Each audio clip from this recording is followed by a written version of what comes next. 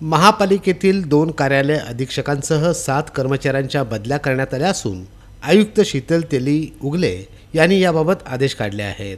सोलापूर महानगरपालिकेतील सात कर्मचाऱ्यांच्या प्रशासकीय कामकाजाच्या सोयीसाठी बदल्या करण्यात आल्या आहेत.